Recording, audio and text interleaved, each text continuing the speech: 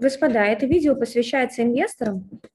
Здесь я вам объясню, что на рынках shit happens и что вас может от этого спасти. Единственное, что вас может от этого спасти. Смотрите, мы с вами рассматриваем э, индекс S&P 500. Рассматриваем его в период нулевых, то есть двухтысячных. Скажу вам так, что если ты инвестировал в, начал инвестировать в двухтысячных, то, так, это индекс московской биржи, инвестировал в американские акции в 2000 году, то ты за этот период, за 10 лет, заработал минус 17%. То есть если ты инвестировал в американские акции в 2000 и вышел в 2010, ты заработал минус 17%. Почему? И, как, и что с этим делать? Как только вот 2000 год, ты зашел в 2000 году, вот где-то вот здесь вот, ты зашел в рынок, вот где-то вот тут вот, ты зашел в рынок. Ты такой красавчик, смотрите, ты туда зашел, вот, ты смотришь на предыдущий период и думаешь, господи, да вот же кризис был только недавно, по идее расти должно, по идее это должно расти, вот он был недавно кризис, а сейчас-то все растет и продолжит расти, и должно расти. И ничто не предвещает беды. Развиваются информационные технологии, конец 90-х. А, только что прошел дефолт в России, и из-за него вот как раз-таки и было это падение на 22% американского рынка. Азиатский кризис, вот это вот все только вот прошло, ничего не должно быть плохого. И случается кризис доткомов, когда человечество переоценило информационные технологии. И американский рынок улетает на 48% вниз. Давайте я вот вам покажу. Вот оно, это значение. Вот если ты инвестировал в 2000 то к 2003 году рынок американский теряет 48%.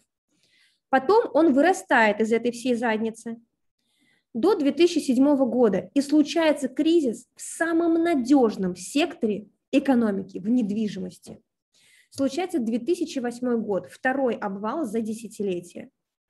И если ты, красавчик такой, инвестировал в 2000 году в самое надежное, что есть в мире, в американские акции, то к 2010 году ты заработал минус 17%. Из-за того, что именно на это десятилетие выпало два жестких кризиса. И единственное, что тебя спасло бы, ну, давайте два варианта. Первое, если ты видишь будущее, то есть это нереальная ситуация, никто не видит будущее. Видят будущее только люди, которые э, кричат пять лет «ща шарахнет кризис», и раз в пять лет они оказываются правы. А потом они выпускают рекламу с заголовком «А я этот кризис предсказывал еще пять лет назад». То есть это люди, которые перманентно говорят про кризис. И раз там в определенный период они оказываются правы. И здесь нужно нужно использовать вторую стратегию. В итоге заработал только тот инвестор, который инвестировал здесь. Так, давайте я изменю немножко. Здесь, здесь, здесь, здесь, здесь, здесь, здесь, вот здесь и здесь каждый месяц понемногу он инвестировал он собирал самые худшие цены и самые лучшие цены. Фишка в том, что когда он собирал худшие цены вот здесь вот, смотрите, рынок упал на, вот здесь вот внимательно меня послушайте, диапазон цен. Рынок шарахнулся на 40%, а потом он вырос обратно, обратите внимание, на диапазон цен, опять выбираем, 90%. То есть движение вниз – это минус 40%, а движение наверх обратно от нижней точки – это плюс 90%. То есть в момент, когда ты возвращаешься обратно к этим же текущим ценам, если ты ничего не делал, ты остаешься в нулях. Если ты постоянно докупал, и вы потом просто вернулись к текущим ценам, вы не обогнали изначальные цены, а вы к ним просто вернулись, ты зарабатываешь на этом плюс 90%. То есть падение, извиняюсь, 48%, то есть 50%, а обратно ты вырастаешь на 93%. Вот. Такая вот математика, господа. Это чудо математики, чудо процентов. Проценты – это очень интересная тема. А, так вот, если инвестор купил вот здесь вот, вот здесь вот, и сидел, любовался на то, что у него там происходит, он поучаствовал в казино. Вырастет или не вырастет? Это не инвестиции, это казино. Работает только одна стратегия, когда ты себе наметил план инвестиций на будущие 10 лет и с закрытыми глазами покупаешь по любым ценам. Рынок обвалится, и вот эта вот динамика по процентам при восстановлении даже предыдущих уровней увеличит твой капитал. Гарантированно. Рынок, если вырастет, то ты увеличишь то, что ты вкладывал изначально. Это беспроигрышная стратегия. А когда ты инвестируешь в один раз и ждешь, выстрелит или не выстрелит, это все равно, что сходить в рулетку сыграть. Получится или не получится. И особенно, когда ты инвестируешь не в индекс целиком, а выбираешь какую-то одну акцию или две, не дай бог, там три, пять, даже это мало, и ждешь результаты именно от этих акций, а не от всего рынка целиком, тоже очень рисковая история. Но возникает вопрос, а если оно никогда не вырастет? Вот сейчас шарахнет ядерная война и ничего не вырастет. Ребят, если шарахнет, по поводу ядерной войны, это хороший разговор, если будет ядерная война, то мы никак на это с вами повлиять не можем. А если она случится, то нам будет уже все равно. Поэтому никогда не закладывайте, пожалуйста, в свои сценарии развития ядерную войну. Вы ничего, кроме тревоги, там не получите. Это все равно, что закладывать свой сценарий, а вдруг я завтра помру. Вероятность того, что мы с вами завтра помрем, выше, чем вероятность ядерной войны. Но мы же не закладываем это все время в наш сценарий развития по жизни, в сценарий инвестиций, то, что я завтра помру.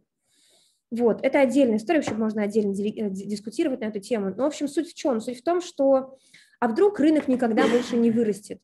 Рынок, господа, вырастет обязательно, если вы инвестируете не в одни только русские, российские акции, а и в американские тоже. И если вы здесь инвестировали не только в американские акции, но и в индекс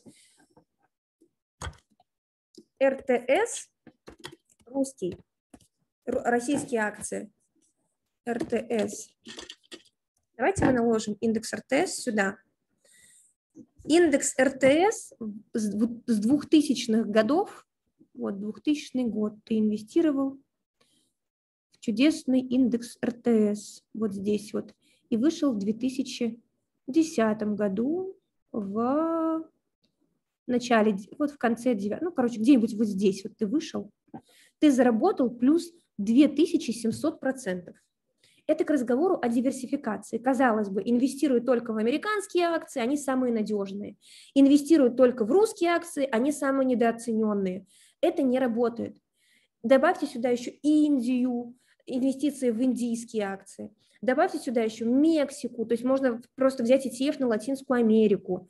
Добавьте сюда разные страны, это то, чему я обучала на закрытом уже курсе «Капитал», а, и чему я буду обучать на новой обучающей программе, которую я, опять я продаю. Извините, давайте не буду продавать вам здесь, просто буду объяснять. Короче, добавляйте туда все. И ваша главная история – это диверсификация, дисциплина и время. И тогда все будет хорошо. Хватит играть в русскую рулетку в инвестициях. Диверсификация, инвестиции и время. Кризисы будут случаться всегда, постоянно. Не думайте, что когда вы зашли на фондовый рынок, кризисы вдруг, потому что вы туда пришли, перестанут случаться. Они будут случаться по два, по три кризиса за, десятилетие может произойти. Именно потому, что они случаются, и создана история с портфельными инвестициями, когда у тебя сделана диверсификация по странам, по классам активов, по инструментам, по эмитентам. Это раз. И два, когда у тебя есть четкая стратегия, дисциплинированная входа в рынок ежемесячная, с закрытыми глазами, каждый месяц.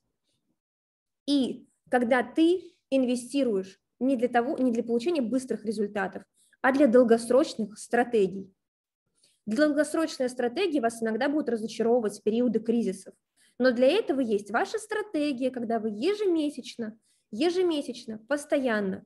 Для этого есть диверсификация, когда у вас, если случилась жопа в России, в Америке еще пока что не такая жопа, и наоборот. Это, если вы ищете какой-то священный грааль в инвестициях, вот он. Это единственный работающий подход. Все остальное, что вы создаете, не работает. Или это работает на коротких дистанциях. На коротких дистанциях. Если вы хотите заработать на короткой дистанции, не нужно идти в самые рисковые стратегии. Это, кстати, парадокс финансов. Хочешь заработать на короткой стратегии, на короткой дистанции, используй самые консервативные инструменты. Хочешь заработать на длинной дистанции, используй агрессивные инструменты. А люди наоборот делают ща мне нужно по-быстренькому заработать, ща я в каком-нибудь впишусь, какую-нибудь верную тему такую, ща я быстренько денег подниму. Это не работает. Это почти что всегда слив денег. Вот такая вот, ребятки, вам такой мини-тренинг. Надеюсь, немножечко удалось отрезвить некоторых инвесторов и наставить на путь истины. Хорошего вечера. У меня 80 тысяч регистраций на время денег. Это два олимпийских.